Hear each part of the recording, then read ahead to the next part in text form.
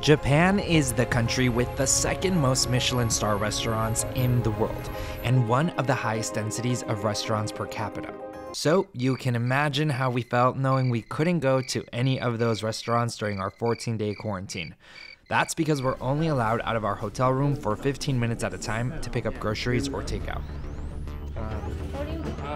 I did it. Ooh. Thankfully, it's 2021 and food delivery apps are the go right behind Simone Biles. So come along as I take you on a wonky, lopsided tour of Tokyo's gastronomy, quarantine style.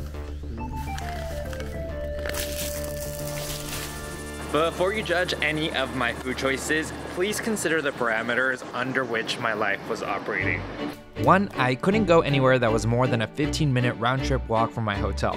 Number two, I was limited to places that could deliver to my area. Finally, comfort food is a thing. And when you're stressed, comfort food is comforting. For my first meal, I decided to stay off delivery apps and go to the mecca of fast, quick meals, a konbini, or a convenience store. I did it.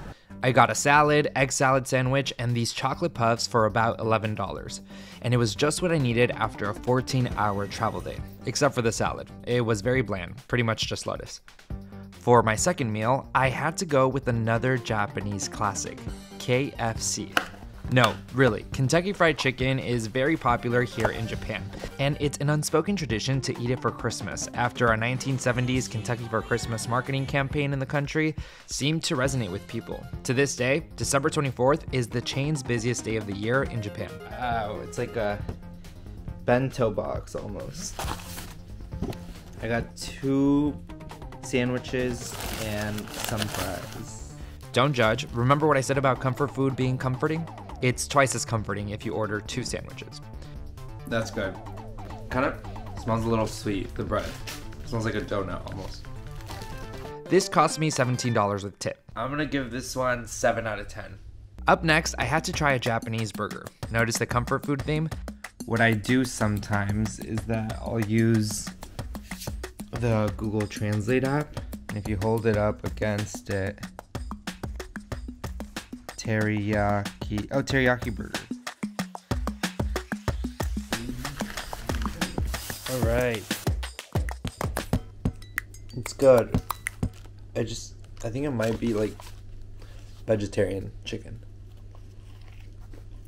I'll give it six out of ten. The meal cost me about $15 with tip, but I don't think I'll be rushing to eat that burger again anytime soon. Now I'm going to toss it to my colleague with NBC Miami, who is also in Tokyo. Because when you travel abroad, you just have to have to try the Golden Arches. This is the teriyaki big burger, ebi filet, which ebi means shrimp. And lastly, healthy side. What? Yeah, McDonald's in Japan has this healthy side of edamame and corn.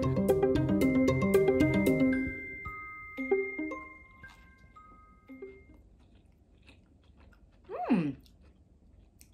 That's good. It definitely tastes like teriyaki, like classic. But um, there's a little mayo in there and lettuce. I'll pretend that's healthy. Mmm. This is good.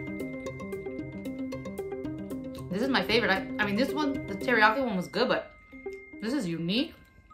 There's like some like mayonnaise style sauce. That meal cost Amanda $20.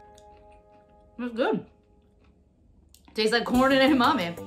Here are some of the meals other coworkers had. Sushi and a salad from a convenience store for $10 got rave reviews for decent flavor. This bowl from a Mexican restaurant for $17 was among the healthier fare, but also pricier. This salmon bowl with Brussels sprouts for $20 was also a hit. But I couldn't end my two weeks in quarantine without ordering something uniquely Japanese. It rhymes with my mom's name, Carmen. Ramen.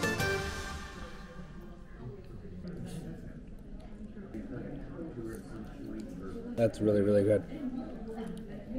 A little cold, but it's pretty good. Yeah. Overall, I would give it. Uh, I'll give it an eight out of ten. If it was like piping hot, temperature-wise, and a little spicier, it would have been perfect.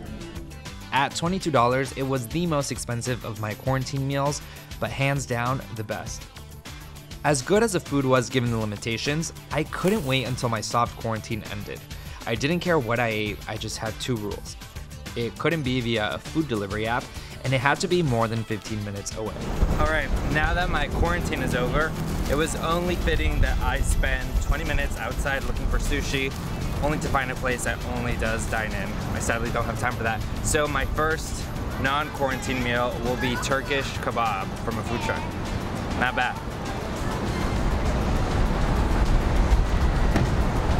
That was good. That's spicy. I'll get sushi eventually.